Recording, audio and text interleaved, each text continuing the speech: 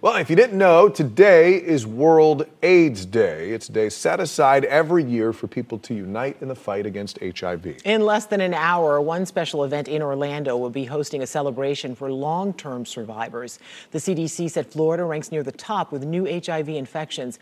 And it all comes as one Orlando center seeks to create a functional cure. News 6's Brian Didlake has more. These are individuals that have uh, passed due to HIV or AIDS. Uh, Gabriela Rodriguez with the Central Florida HIV Council showing quilts to be displayed at the World AIDS Day Vigil. It's an annual event meant to honor those impacted by HIV or AIDS. I think it's important to recognize, right?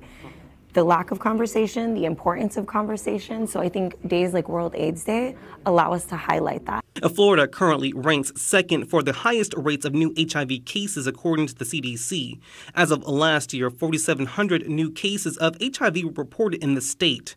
Rodriguez saying Orange County among the top five counties in the nation for new cases. Those those numbers are teaching us to that we probably really need to do a better job in, term, in terms of outreach. Federico Enestro with the Orlando Immunology Center says they are working to get results.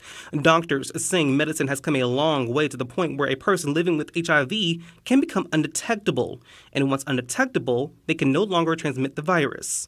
The center now making new strides in research in a clinical trial for a therapeutic vaccine that may create a functional cure. Not for the person who's negative, they are for the person who's positive, uh, and it's also a vaccine that is kind of teaching the immune system how to defend itself against HIV. I think that would help completely eliminate the stigma that was created in the 80s of you're dirty, you're going to die, even though that's no longer the case. Marshall Turner with the LGBTQ Center of Orlando tells me he is hopeful of the results, but says even if a functional cure is created, safe sex practices are still important. Because there are many other things other than HIV uh, the Orlando Immunology Center says it's still too early to see any results from their therapeutic vaccine.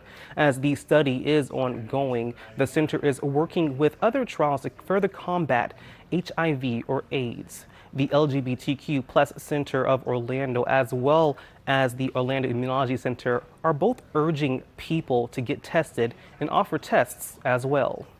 We're in the newsroom. Brian Didlake getting results. News 6.